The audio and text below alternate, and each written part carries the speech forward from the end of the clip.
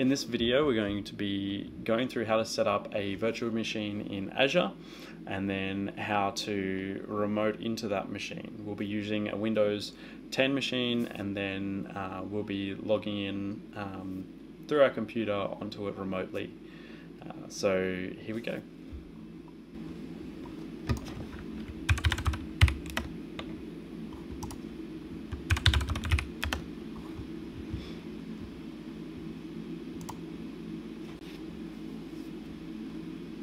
Now, the first thing we need to do in making a virtual machine is we need to create a resource group for that machine to be located within. So resource group basically is um, where you put all of the resources that you want together uh, within your infrastructure to be. Uh, and so say you want to create um, several you know forms of infrastructure for an organization you'd put them in several buckets of, of resource groups and they just containerize what you're doing there. So what we're going to do is we're going to uh, type in our search bar. It's right here but I just want to show you. We'll go resource groups. Then we'll hit resource groups. Then we'll go over to here create. We'll create a resource group then, as you can see, I've made several, but we'll go first resource.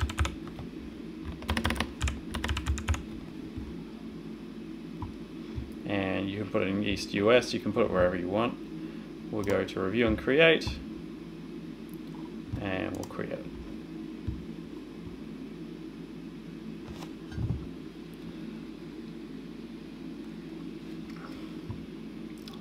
you have now created your first resource group. Next, we'll go into search bar, we'll search up virtual machines, because this is why you came. Virtual machines. and we'll click create, Azure virtual machines. And we'll go through these things. So the first thing is we need to go through is we need to select the resource group we want it to be a part of. It can make a new one or we go click the drop down menu and hit first resource. And then we want to give the virtual machine a name. So I'm just going to call it VM01. Uh, we want it to be located in East US because it has to be in the same uh, region as your resource group uh, and we can just ignore the availability options and the security type. We'll just look at the image. So the image is the, the operating system that's going to be underlying our machine. Uh, and so this will be assigned, assigned to us. So we get to choose out of a list of operating systems uh, what we want. So I'm going to use a Windows 10 Pro. And then we'll leave that at x64.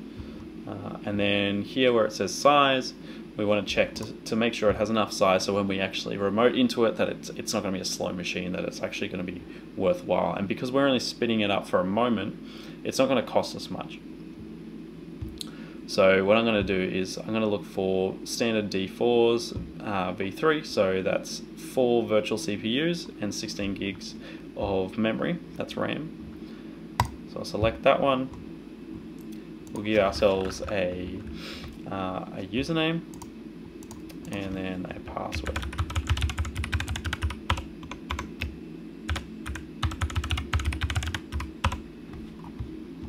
And then this little tick tells us that um, they both match. We also want to allow for RDP, so Remote Desktop Protocol, which just uh, allows us to be able to then connect remotely uh, through the internet to this machine. Now we'll have to select I confirm uh, the licensing and then we'll go up to the top, back up to the top. Starting not to go, go to networking. Now we'll create a new virtual network, uh, assign us a subnet, and then it will create us a public IP address. So that means that we can actually connect to this computer.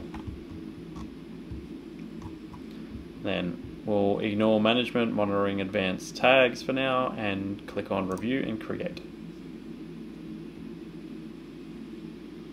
And now we'll just go through a validation process to make sure that everything that we've chosen is within our plan, um, within our free plan, and able to actually be put together.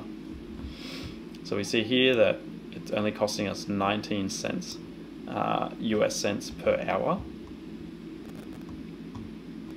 And if you want to, you can go and validate this, but uh, it's always exactly what we did because we haven't done something like super complicated. So we'll just click create.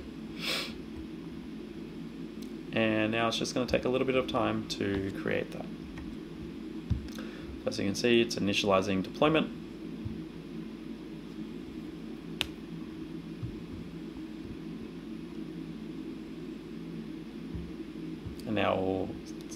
to this page where it's creating our virtual machine.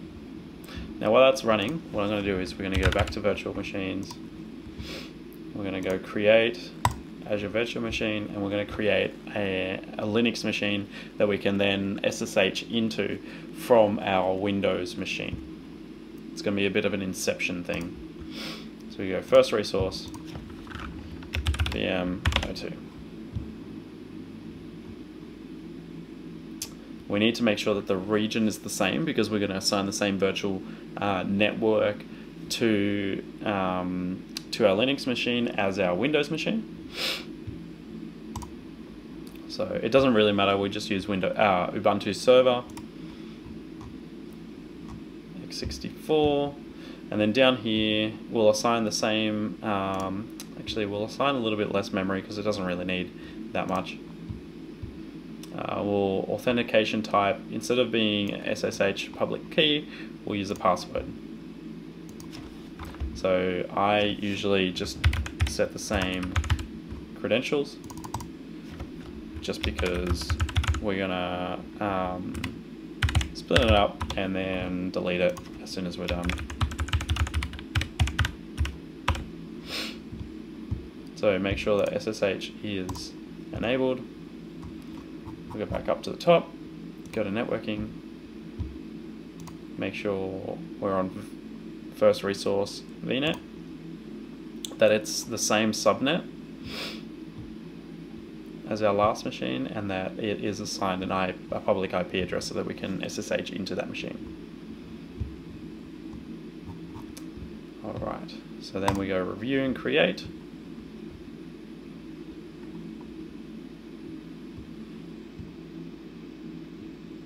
So we can see this one's going to be $12, 12 cents an hour. Uh, for some reason this failed. Okay.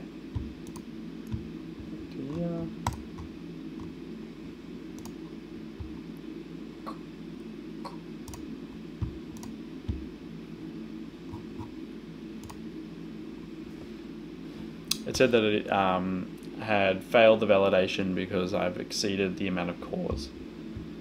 So I probably used way too many cores on my last machine, and so now it's unhappy.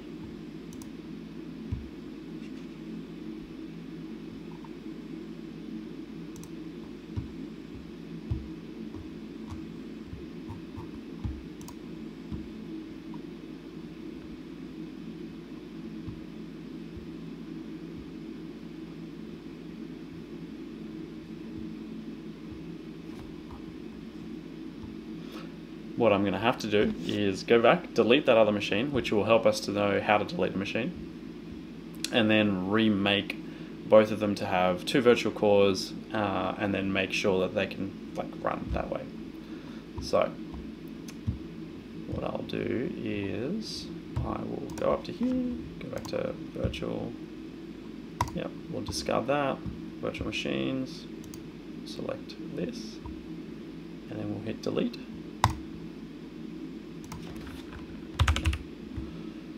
Apply force delete on everything. Yep, confirm details, delete.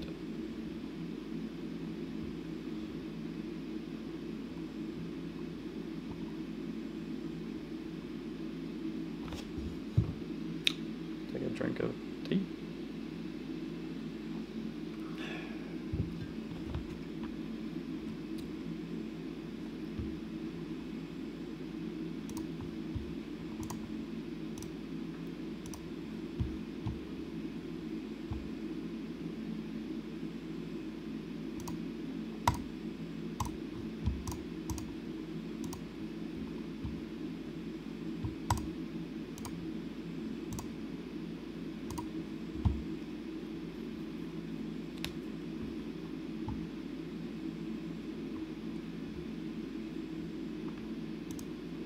Alright, so that's been deleted. Virtual machines. Uh, let's refresh this. Let's make sure. Why is this? Ah, okay, so it's done. It's still showing up, but it's not. It's not actually there. All right, we'll create Azure Virtual Machine.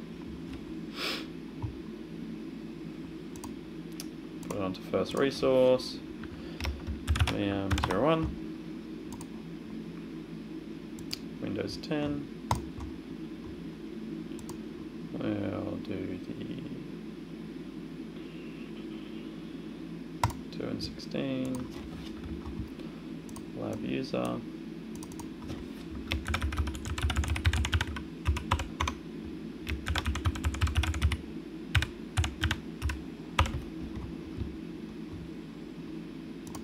Confirm that we have rights. Networking.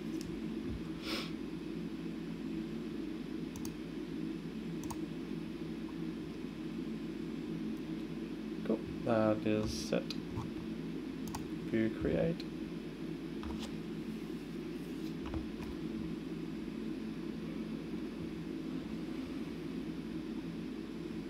Validation has passed, which is great. We'll create that.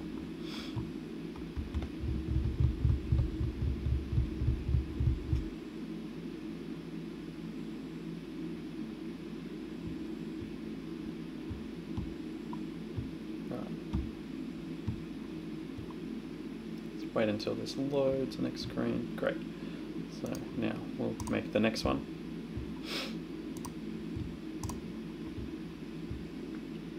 Select the resource group, first resource, VM02, Ubuntu server, alright, virtual CPUs, yep, great, lab user,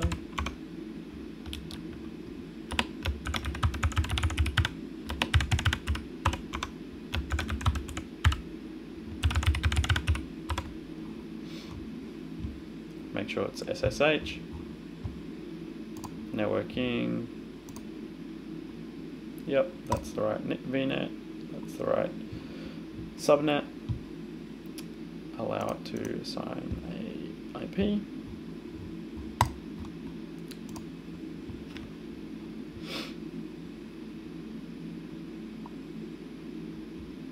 and it's passive ventilation. Yes! Alright. Let's create.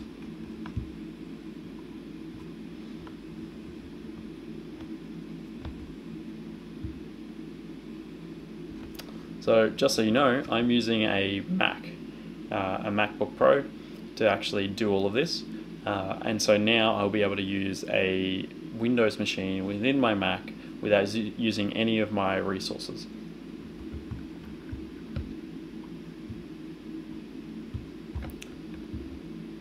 Wait until that loads.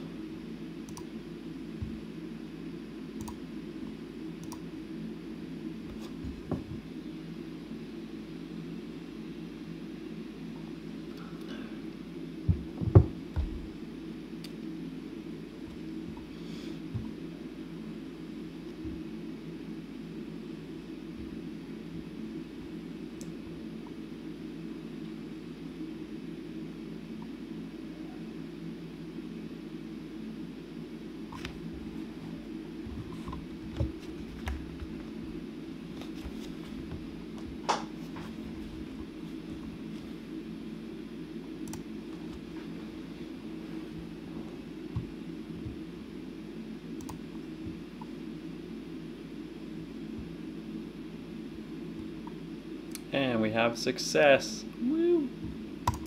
Alright, so now, how do we remote into it?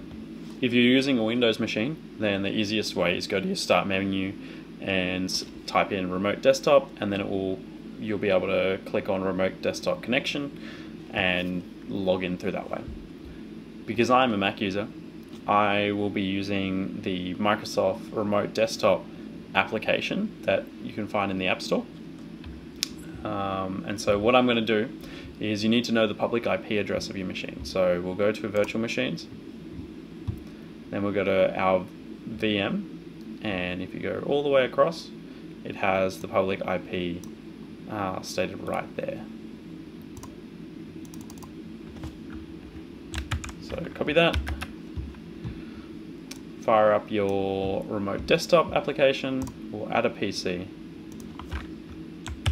and we'll put our IP address in there, make sure there's no space at the end because sometimes this stuff reads it weird. And here we've added our PC. So now log in, lab user,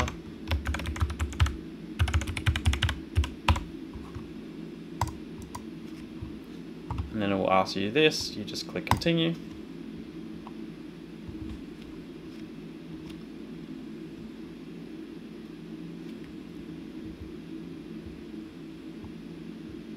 And here we are. It's a Windows machine.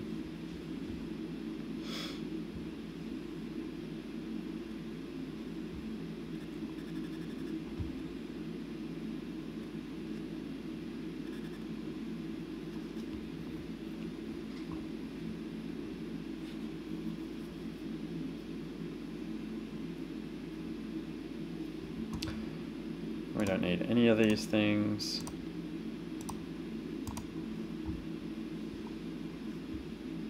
And it's a Windows machine. As you can see, my Mac, Windows. Alright, so what we're going to do now is, firstly, I want to see our IP address and where we're located in the world. So right now, I'm in Australia, physically. I am in Australia.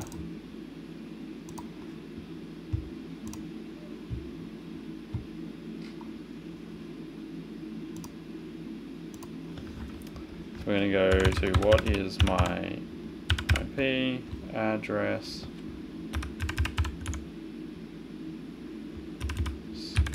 com.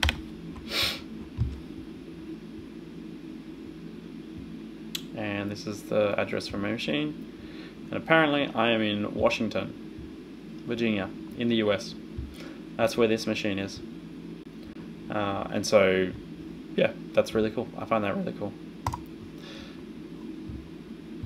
The next thing we're going to do is we're going to ping our um,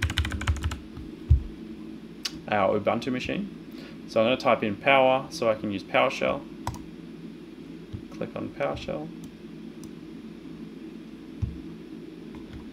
So firstly we want to do um, dash A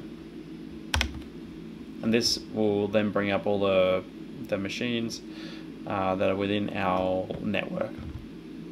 So we've got our, our gateway and our broadcast address there. Uh, our Ubuntu machine hasn't actually appeared here, which is weird. So what I'm going to do is I'm going to go have a look from here what the address is. So VM2. Let it load. As you can see under networking it says private private IP address 10.0.0.6 so we're going to do is ping 10.0.0.6 that's 5 that's me. So we're receiving a reply. That means there is a connection between us and the Ubuntu server. So what I'm going to do is SSH lab user at 10.0.0.6. Tap enter. It will ask us if we want to be fingerprinted because we don't have a public key. We'll say yes. Then we need to enter in the password. So when you enter in a password through SSH, it actually won't show up uh, in the, um, the prompt you just got to trust that it's working. And as you can see here, it's loaded. So we're going to put who am I? Lab user.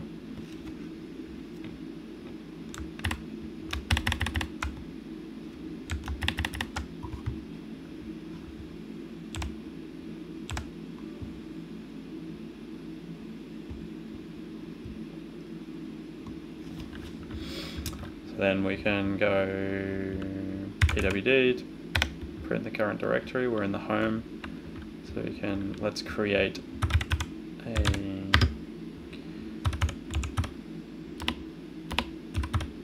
test.txt. we've made this. And it's there. So as you can see, we have successfully logged into a Windows machine, virtual machine, and logged into our Ubuntu server here as a lab user. In the next video, I'm going to be doing a network analysis uh, using Wireshark. So I'll be downloading Wireshark and then running several uh, commands using um, in PowerShell uh, to be able to analyze the network traffic there. Thanks for watching.